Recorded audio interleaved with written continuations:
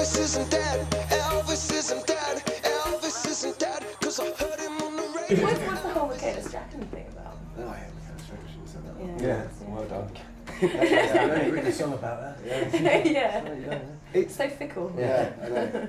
It, I think, and you we see we see it at the gigs. I think a lot of people were in love with Michaela Strachan that when she was on the Wide Awake Club, uh, and on Wacaday, and it was. Uh, More her than Timmy then. I think so. Yeah. You had to admire Timmy Man. He had great specs. Yeah. Yes, She was on He's spec clearly a man that appreciates that kind of thing. Well, you know, it's not about specs. And it, it, I don't know. It, it's a secret track on their album, which isn't much of a secret because I always say it's a secret track. It's one of my favourite songs on their life. Musically, it's it's really nice.